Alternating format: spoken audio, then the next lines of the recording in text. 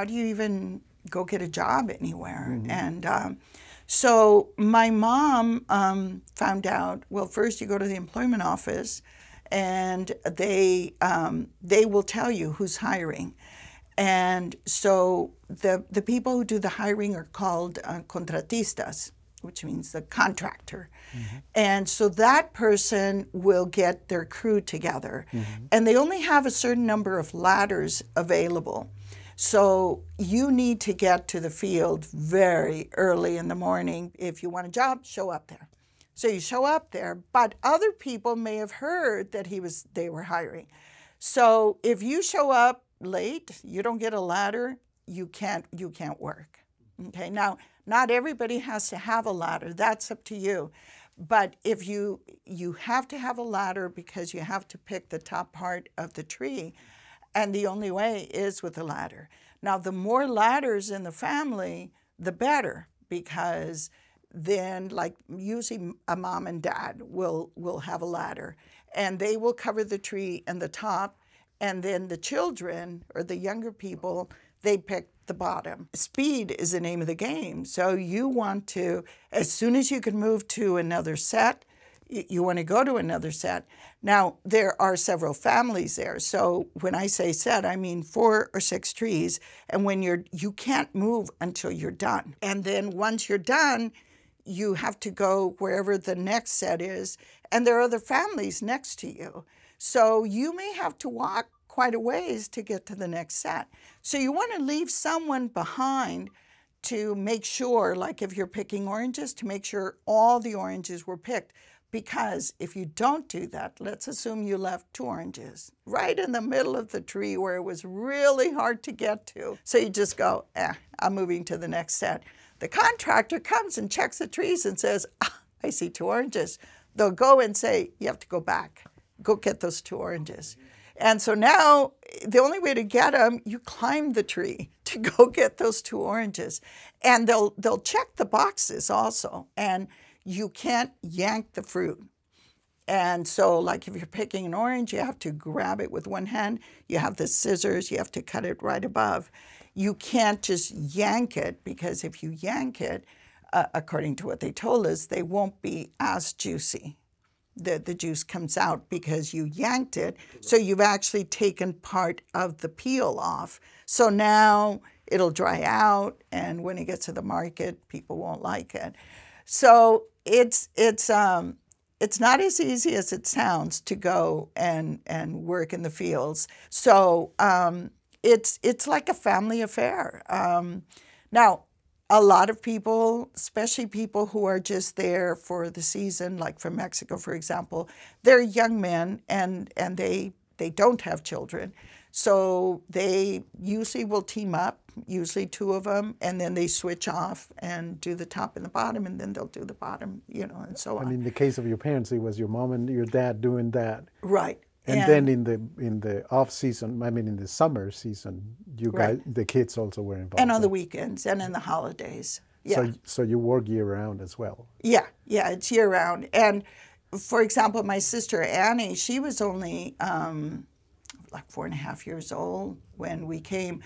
She would get taken to to work. Um, it wasn't really to work. It was just they were not going to pay for a babysitter. They didn't right. have the money. So they would take her, and she would um, uh, get underneath a tree at, at four and a half, five years old, and just pick whatever she could and make her boxes anyway. So we would work um, basically on, on, on Saturdays and Sundays. Sundays, um, most of the time we would not work because my parents insisted that we needed to go to church. church.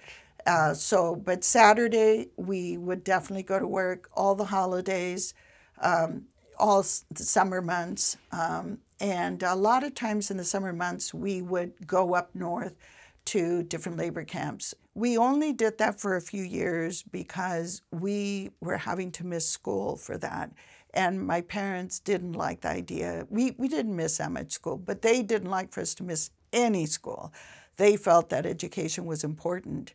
And so we did that until age, I was 15, 14, when we stopped doing that. So we did that for like three years. Even though there was work in Porterville, going to the labor camps was was important for them because in the winter months there isn't as much work, and that's when the farm workers really suffer because they want to work, but there isn't any work. It's raining, it's cold.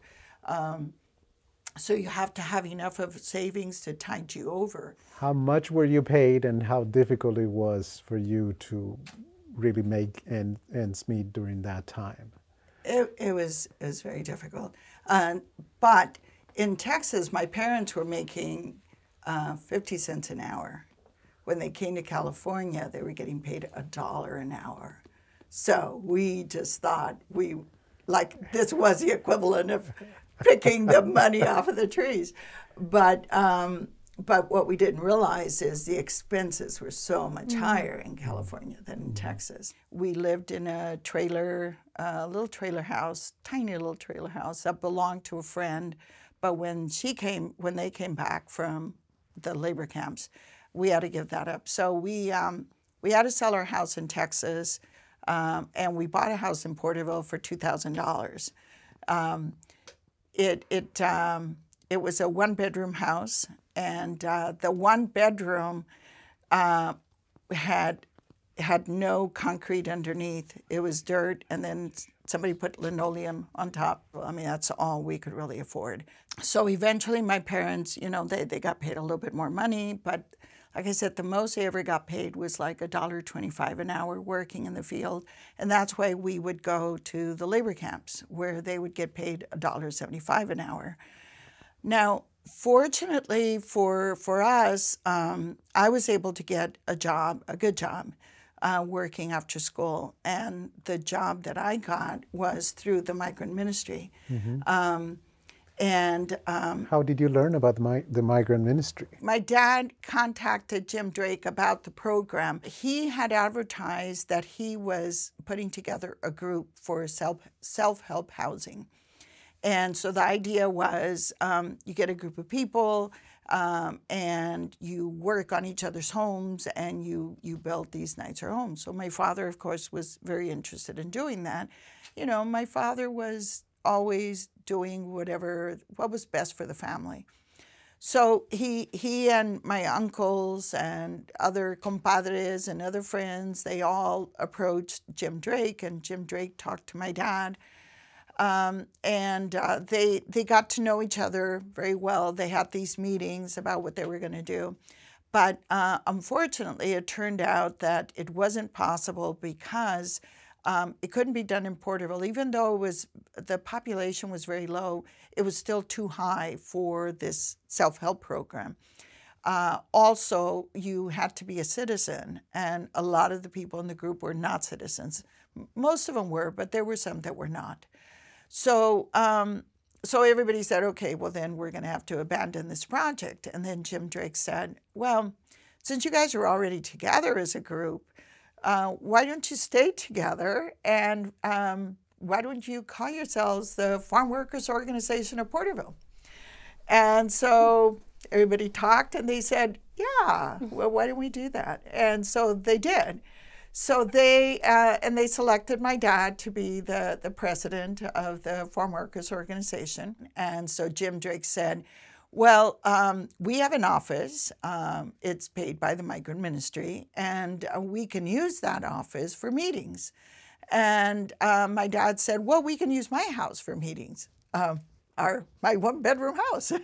so um, our house was actually more convenient because the office was actually a tiny, tiny office. And so when my dad was getting involved with the farm workers organization, right away, of course, he brought my tío Beto, my tío Rico, my tío Lacho, my, you know, his compadre, my padrino.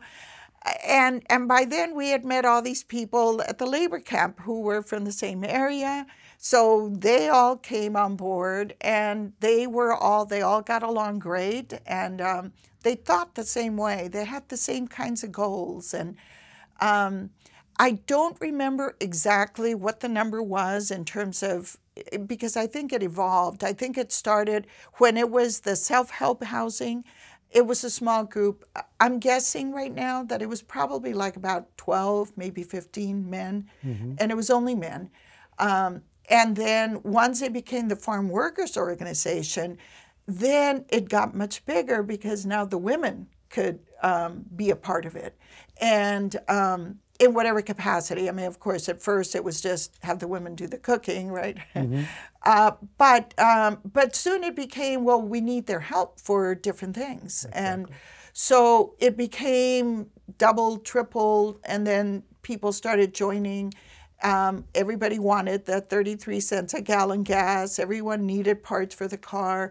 And then they started seeing the benefits of um, getting together, not necessarily for purposes of farm worker uh, benefits, but more for um, where do you go to work, what, you know, that kind of thing, and how much are you getting paid, and how is that contractor versus this contractor. So what happened is my dad got blacklisted because he was always talking to people about joining the union. So, because farm workers have no protections, that there was no union, so it was all like, come and work here. You know, the contractor uh, was the one that you had to contact. So all of a sudden, all the contractors started telling my dad, "Oh, we don't have work for you." Then they needed uh, uh, like a, well, they called it a secretary, but it was really a jack of all trades. They needed somebody to run the office because there was nobody there.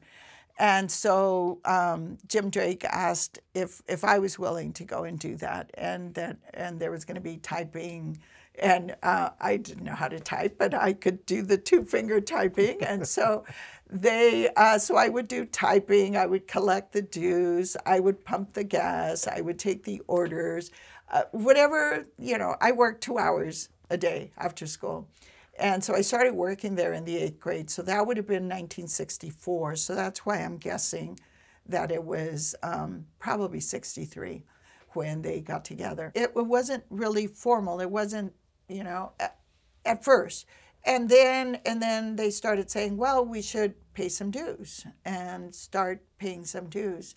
And so that we can do different different things that we might need, that kind of thing.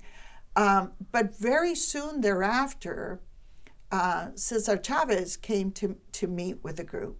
Now, how he knew about it, I assume it was through, Through Jim, Jim Drake, Drake, yeah. you know, because he came to the office.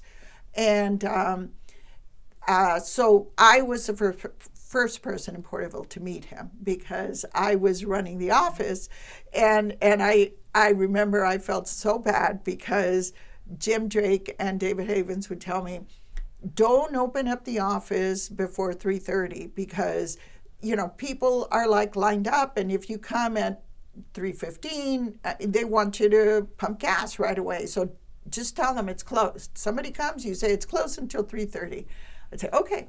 So i follow instructions. So i get to the office at like 3.15 and cesar chavez is sitting in front of the door but I don't know who it is, and nobody had warned me. So I go, office is closed. you have to wait till three thirty. and he just says, okay, you know. And uh, so I'm like, there was a little chocolate store next door, so I'm in the chocolate store, you know, waiting for 3:30, and then then I go over there, open up the office, and then uh, and I I had heard the name Cesar Chavez. Of course, he wasn't. It wasn't like now, like you know, he be, obviously became a legend, but um, but I certainly knew who he was uh, Mm. from just conversations with Jim Drake, and so I felt very bad that I made him just sit there on the stoop and wait for me to open the office. But anyway, so he he had come. Uh, he wanted to meet with my father. And so I told him, well, my father will be here in two hours um, to, you know, pick me up. In those days, we have cell phones. We, there was no way for me to reach my father to say, you know, we, we didn't even have a home phone. So it's he'll be here in two hours, and he said, okay, I'll wait. So he waited. and by then we had. Um, Did you have a chance to talk to him while he was there? I, you know, I didn't talk to him. I was, I was embarrassed first of all, and I just, I felt uh, awed by having this important person there. So he talked. My father came, talked, and then my father said, "Well, why don't we um, schedule a meeting with with everyone, and you can come and talk to us." And and it's up to the membership, see what they want to do. And so his thing was, you know, the the Cesar Chavez would always um, give an example of, you know, you take a stick, and it's so easy to break but now you put like four sticks together mm. and that's the makes it more the, difficult the strength of the union mm-hmm. and and everybody agreed that um, yeah that they should join the uh, his organization the national and farm workers so association right? the far, it was the farm workers association so fwa at that time um, and then um, they decided to keep my father as the president of the local chapter in Porterville because you know it would be somebody needs mm-hmm. to be mm-hmm. in charge and he had been president already so they kept him as president so that he could communicate with um, with Cesar Chavez